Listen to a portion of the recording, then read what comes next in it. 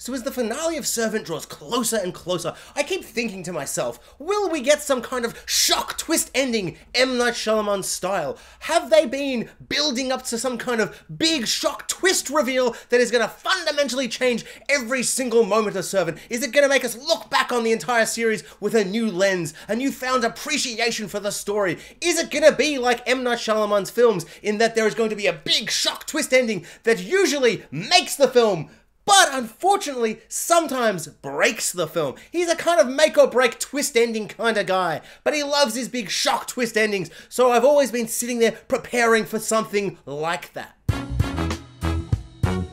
But nothing!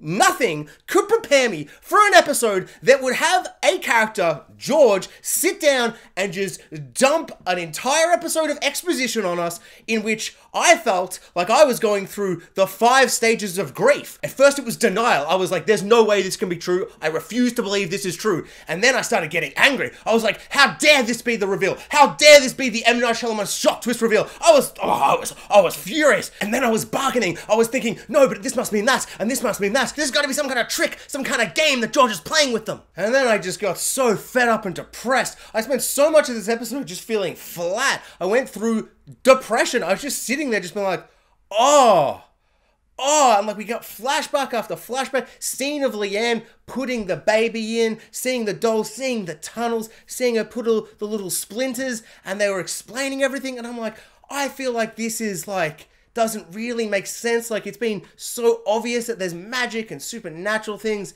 but whatever. I guess they've been building up and now this is the big shock twist reveal. And I felt so flat and depressed.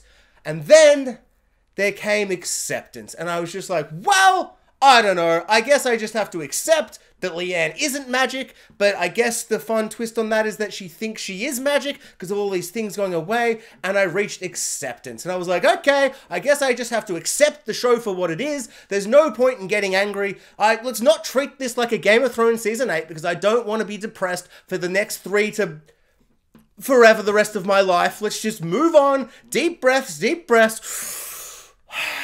accept the show for what it is. Yes, this was a big exposition episode that was doing a big M. Night Shyamalan shock twist reveal, and I was in denial, I was angry, I was bargaining, I was depressed, but now let's just take a deep breath and accept accept the show for what it is. I still like some of these characters. And at the end, when Leanne stands up and they're all kind of fighting back to her because she doesn't have magic powers and they realize that now, and you're kind of like, okay, well, this is an interesting new dynamic. Not what I want from the end of the show, but at least, I don't know, I like these characters enough. Let me. Oh, thank God! Oh, George is slapping himself and he said "Blast me!" Oh, thank. Oh. Oh, thank God. Oh, oh, it was all a trick. Oh, it was all a lie. Oh, oh my God. Oh, thank God. I thought they'd ruined the show. Oh, that acceptance thing, that was just a lie. That was something I was tri- I was just lying to myself so I didn't, you know, go spiral into like, you know, just this uh, psycho. Yeah. Oh, thank God, George. Oh, thank God. I don't know why you would try and trick and lie. And uh, I mean, uh, you know, straight off the bat, very angry, very angry. I feel very manipulated. Servant, the TV series, and George, the character joy. how dare you? How dare you? I swear, and I and this isn't just the five stages of grief, you know, situation little bit I'm doing. I literally straight off the bat was in denial. Like I was like, no, no, no, no, no. This is he's doing a little a little play, a little uh, theater of the mind. He's tricking them. Why? Why is he tricking them? Makes no sense. Okay, okay, but he's got to be tricking them. it can't be the twist. Can't be that it's not magic. That's that's so boring and uninteresting and just infuriating and frustrating. I love magic. I love weird magic witch just stuff, and we have seen too much stuff. It, it just makes the whole show seem so like ah, just oh, that's not what I want to see. Like oh. Oh, this episode really got me. It got me because I was like, I was in denial. I was like, I do not trust this. And then just the more scenes they showed, I was like, well, I guess it is. I I, I guess this is the twist. And I, it got me. This show got me so good. So this episode was a bit of a, a bit of a roller coaster for me. I am super curious did this episode work on other people? Did you find it like the kind of roller coaster of emotions? Did it trick you? Or did you kind of see it for a lie from the start? Like, did you just go, ah, oh, this must be the plan, his end game plan that George mentioned earlier in the, ep- like a couple of episodes ago, where he's like, I have one final plan and it is in motion or whatever. Like, in hindsight, maybe I should have seen it coming, but I just felt like at a certain point, I'm like, it's just being told such a matter of fact, where it's kind of like, it's almost like looking at the audience being like, ha ha ha this is why we never confirmed, we never confirmed any magic. You just assumed. Ha ha ha, gotcha! M. Night Shyamalan twist! Rug pulled out! Twist, twist! M. Night Shyamalan twist! Bloody gotcha, mate! I was just like, I, I, like, honestly, if this show hadn't been created, and I know he's not, like, writing and directing that many episodes anymore, but like, I don't know, I just feels like because his like fingerprints, like his blueprints are in the show. And honestly, I don't know how much he's involved in the show, but I imagine it's quite a lot in terms of just the broad scope of the story they're telling. Maybe not the minutiae of the dialogue and that kind of stuff. But it's just kind of like, I don't know. I think if any other creator had been a part of this, I might not have been like, oh, I guess this is the big shot twist reveal. But because it's M. Night Shyamalan, I'm like, oh, it's this. But usually I'm like, overwhelmed, like my goosebumps have goosebumps, and I'm like, oh my god, twist reveal, what? Whereas this one, I was just like,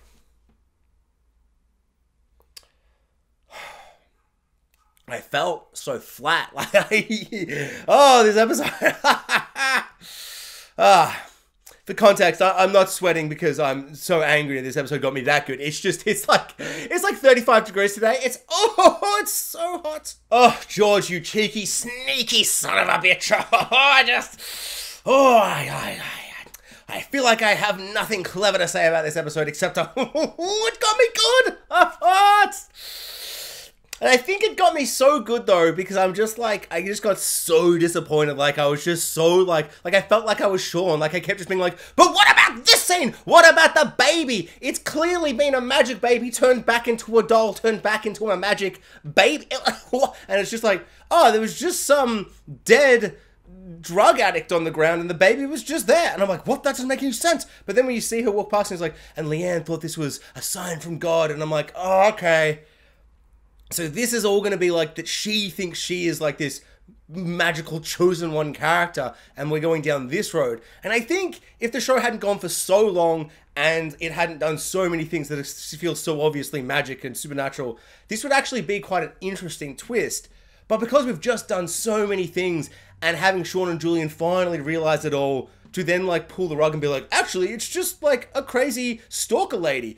Oh, I mean, actually, now I say that, I really didn't like the idea that kind of reducing Leanne to just like stalker. Because for so much of the series I haven't seen Leanne at all as a villain. And season 4 keeps really trying to push her as a villain. And then this episode being like villain and stalker and just a psycho and just like I don't know all these things where I'm like I don't know. And even now that it's revealed no no she is magic and this is just a way to pit them against her, but they don't feel afraid of her. And her magic now, I guess is his point, which seems dangerous as hell, which is obviously going to cook up some tasty, tasty conflict for our final three three episodes, but it's kind of like, oh, I just, yeah, I didn't, ah, there's so much of the episode really annoyed me, but I do love the balls on them. Like, how are they even walking with balls that big to, like, do an episode like this, to be like, let's give them an M. Night Shyamalan twist ending, like a full episode explanation epi, and it's just one big troll. Like, it's just one big fake out.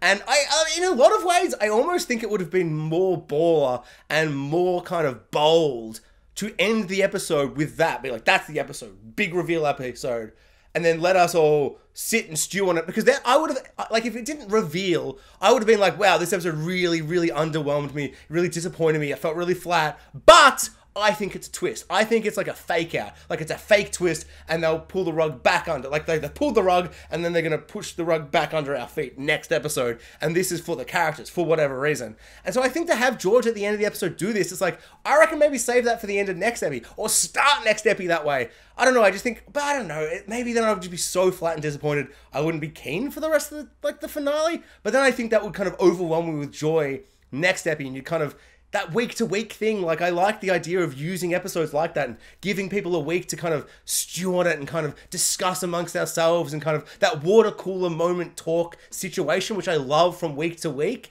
And so I think maybe it loses something there, but maybe it's kind of a closed epi of like a fake out and then like actually no no it's because maybe they didn't want to like let you sit for a week being so annoyed and disappointed to then just be like, actually, we were just tricking. La la la, ha ha ha. Jokes, bloody gotcha. Yeah, I don't know. I just.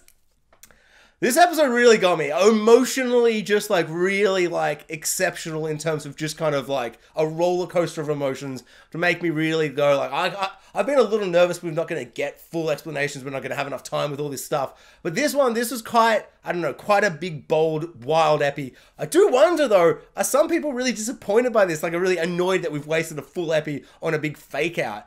I think you kind of got to spend this much time to make it feel real. Like for me at first, I'm like, I don't believe it. But then I'm like, this is, it's just going to be a whole episode of this. Like, this is the reveal episode. This is like the episode. it's like, I don't know. And that, it kind of got me by being so overlong. Like, it's kind of like, like a joke where it's like, ah, oh, it's not funny. Oh, actually, it's gone for so long, it's become funny. And then right at the end, it's like, oh, it's gone for so long, it's not funny anymore. It's going to have that kind of pace to it by being so extended. Um, yeah, just one little note about the next three episodes. when is Dorothy going to find out? Like, seriously, seriously. Dorothy was like, I mean, she went on a whole, whole little quest of Leanne's been stalking me for years, and that kind of backed up all the other stuff. But also, maybe it just backs up the fact that she's magic and obsessed with Dorothy, which is still true. Like, she's obsessed with Dorothy but all the magic stuff is not true. So it's like he was sprinkling little bits of truth in there, George. I think that's also what really, really got me is we are catching Dorothy watching all these things, and he's like, and he was kind of backing that up. So I'm like, well, he's not lying about that, but he's lying about other things. So that kind of worked really well for me as well. But I don't. we need Dorothy to find out that she, you know, let Jericho die soon. Because if she finds out in the finale, and we only have like 10, 15 minutes of her as a character dealing emotionally with that, it's going to be wasted potential, wasted, rich character kind of emotional potential for just like, I mean, it's going to be heartbreaking and horrifying and terrible, but like, I don't know, the whole show's been building up to this moment. I need to have the character sit in it for a bit. So she needs to find out, I mean, next episode or the start of episode nine, maybe like she finds out at the end of next episode, big cliffhanger, she realizes, then episode nine and 10, and we get 60 minutes to, you know, deal with it. But yeah, I'd love to know what everyone thought. Big yays, big nays, mixed nuanced opinion. Thanks for watching, guys. Like, subscribe, hit the notification bell, and comment below. I'd love to know what everyone thought of this episode of Servant.